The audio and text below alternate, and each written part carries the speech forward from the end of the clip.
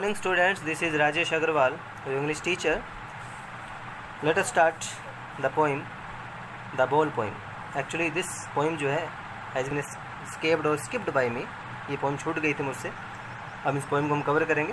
Poem number five the ball poem written by John Berryman first we will see the introduction to the poem let us see in this poem the poet describes the reality of life इस poem में poet ने जो है reality of life को show किया है। Which every one has to face one day जो हर इंसान को एक ना एक दिन फेस करनी पड़ती है।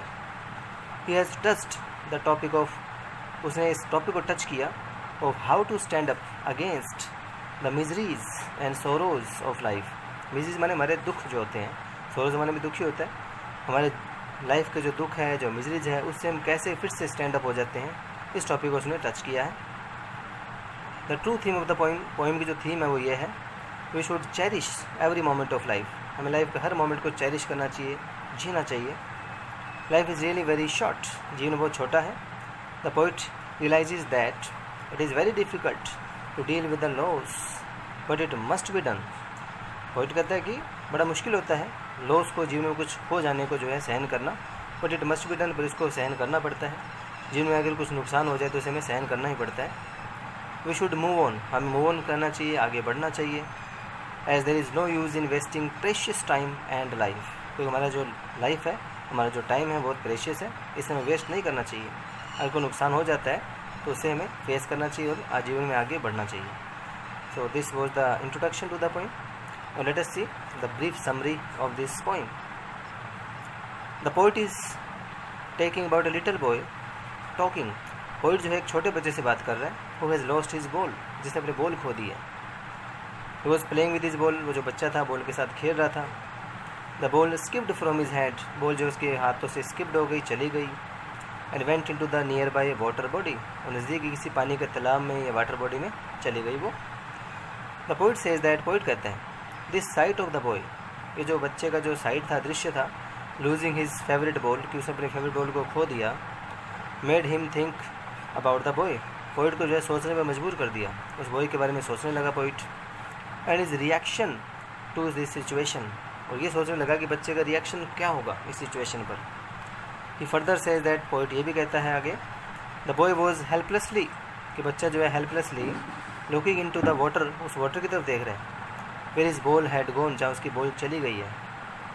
ही वॉज़ सैड बच्चा सैड भी है and was trembling with fear और डर के मारे काम भी रहा ही। गोट सो इम्पर्स्ड इमर्स्ड इतना ज़्यादा गहरा सोच में पड़ गया वो बेचारा इन सौरों अपने दुख के कारण।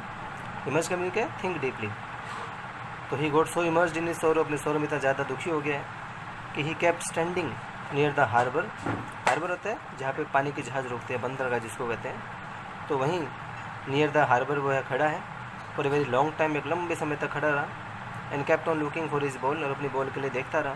कौन? वो boy the poet says that poet कहता है ये कुड कंसोल हिम कि वो उसे कंसोल करा सकता है, उसे दुख में शामिल हो सकता है, उसको सांत्वना दे सकता है। That he may get new balls कि तू नई बॉल खरीद सकता है बेटा।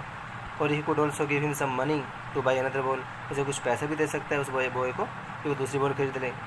But he stops himself from doing so और पोइट ने अपने आप को रोका ऐसा करने से।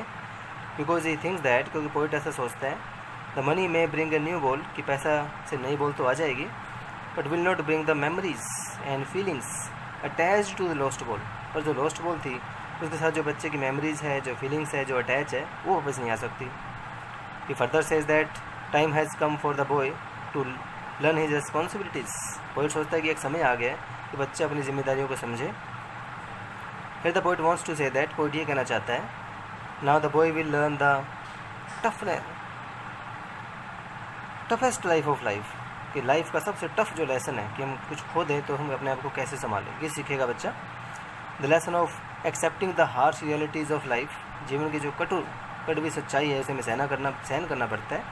That one day we will lose our loved ones कि हम अपने जीवन में बड़े प्यारों लोगों को खो देते हैं एंड आवर लव्ड थिंग्स प्यारी चीज़ों को भी खो देते हैं। सबसे यही मैसेज है पॉइंट का। अगर हम जीवन में किसी पर्सन को खो दें या किसी कीमती चीज़ को खो दें या प्यारी चीज़ को खो दें तो अपने आप को संभाल लेना चाहिए। वो समय जो है सब कुछ सिखा देता है। तो ये थी उसकी summary let us start stanza first of the point what is the boy now who has lost his ball what what is he to do I saw it go merrily means happily bouncing means jumping down the street and then merrily over there it is in the water इस पूरे stanza में दो ही word थे. Merrily जो मैंने लिख दिया happily होता है. बाउंसिंग का मीनिंग क्या होता है जंपिंग तो देखें ये स्टेंजा क्या कहते हैं. Let us see the explanation of this stanza the poet is talking about a boy stanza में पोइट ने एक बॉय की बात की है. वो हैज़ लॉस्ट हिज बॉल जिसने अपनी बॉल खो दी है. He wants to know about him poet उसके बारे में जानना चाहता है. एंड इज़ रिएक्शन और उसके रिएक्शन के बारे में जानना चाहता है. Because he has lost his ball क्योंकि उसे अपनी बॉल को लॉस्ट कर दिया है. फर्दर इसके बाद ही आस्क टू हिमसेल्फ अपने आप को कहते हैं। कि what this boy will do after losing his ball कि अब बच्चा क्या करेगा इस बॉल को खोने के बाद? The poet has seen the ball going away from the boy the poet has seen the ball going away from the boy poet ने देखा कि जो बॉल है, बच्चे से दूर चली गई है। ही सेज दैट वो कहता है the ball was cheerfully jumping up and down in the street जो बॉल थी, बड़ी हैप्पीली जो है जंपिंग करते हुए अप डाउन करते हुए गली में चली गई। This means that one the ball skipped from boy's hand कि जब बॉल बच्चे के हाथों से छूटी थी it went into the street वो स्ट्रीट में गई एंड लेटर और बाद में। It fell into the nearby river पास ही कोई नदी थी, कोई तालाब था, पानी का वाटर बॉडी थी जिसमें वो बॉल चली गई थी। Now students us see what are the literary devices used in stanza first by the poet. First of all, anaphora is used. Anaphora का मीनिंग होता है use of repeated words in two और more lines जो दो lines में same word repeat हो जाते हैं। जैसे स्टेंजा में क्या हुए? What is the boy what what and merely bouncing merely over आप देख सकते हैं मियरली रिपीट हुआ वट रिपीट हुआ। तो जब टू लाइन्स में सेम वर्ड रिपीट हो जाता है तो वहाँ एनाफोरा लिटरी डिवाइस होती है। Then next is assonance assonance होता है रिपीटेड यूज़ ऑफ़ वोवल जब वोवल साउंड रिपीट होते हैं तो वहाँ असोनेंस होता है। आप देख सकते हैं boy now who lost in समय ओ जो है, वो वोवल रिपीट हो रहे हैं। सभी साउंड में चेक करो नेक्स्ट इज़ इमेजरी मैंने पोइट से is merely bouncing down the street यहाँ पे इमेजरी हुई है। इमेजरी कब क्या होती है? जो हमारी फाइव सेंसेस को यूज़ होती है।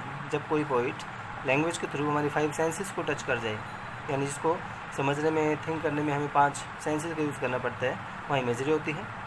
तो पोइट ने क्या कहा था? तो merely bouncing down the street जब ये लाइन आती है तो हमारे मन में एक पिक्चर बन जाती है कि कैसे वो जो बाउल है बाउंसिंग करते हुए गली में गई है। रिपीटेशन यूज़ किया गया है। वट इज़ रिपीटेड तो वट वर्ड जो है रिपीट हुआ है। तो एक रिपीटेशन रिलेटेड डिवाइस भी यूज़ हुई है। So students this much is enough for this lecture remaining part of the point will do in our next lecture till then have a nice day